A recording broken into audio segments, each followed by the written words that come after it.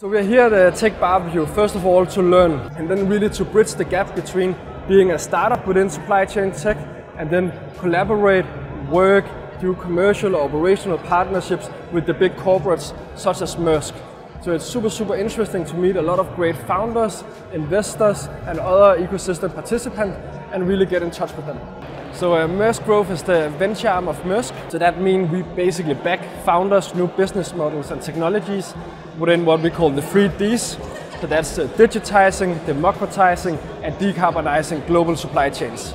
And of course being here today with a lot of great founders, investors and the entire ecosystem is really important for us.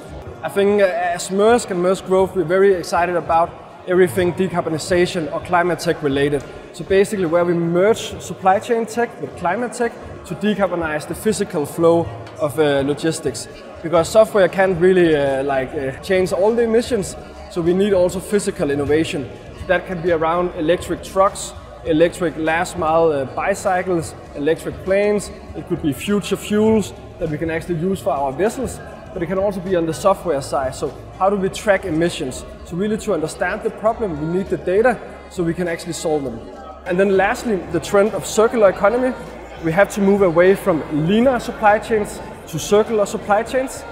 We have not seen so much activity here yet, but we believe in the future that will be a great, great opportunity both for startups to innovate here, but also for logistics companies to move in and do a lot of innovation.